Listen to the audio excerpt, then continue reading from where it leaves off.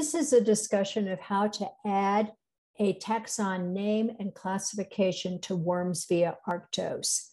The only classifications and names that we add are those that have an Aphia ID in worms.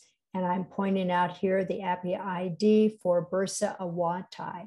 Bursa awati is in worms via Arctos. However, it is now unaccepted, and we want to update our record for this species. If we check into the accepted name, we then go and look to see whether or not that is in Arctos. So if we go to Arctos and we enter that name and search, we find no taxon name is found. So we're going to need to create a new name and classification.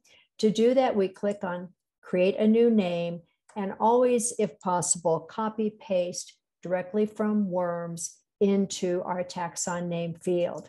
We're going to choose Linnaean as the taxon name type and click create name. Adding the classification, we have several options, but we're going to just create a classification. And we're going to say that our source is worms via Arctos. And the term type that we're going to enter is the Aphia ID. Aphia's, Aphia IDs control the entire classification. If we go back to worms, we can copy that Aphia ID directly from worms, again, just to ensure accuracy and paste it into the classification. We then click create classification. And when we go back and view the taxon page, we now have a taxon page for the species, but we have only one worms without any classification. To secure a classification, we click refresh and then click success and we reload. When we do that, we will find everything comes up and we also can do a double check to make sure that we have an accurate name without any typos in it. If we want to, we can refresh all of the global names to see whether or not any other sources come up. And in this case, we pick up several other sources, the World Register, uh, GBIF, and the Catalog of Life as well.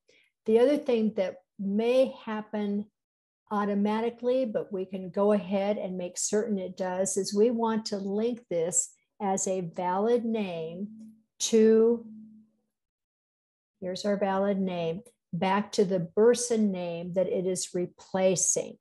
So we can go into edit name and related data and indicate that it is a synonym of, and our name was Bursa Awati. And our authority on that is worms.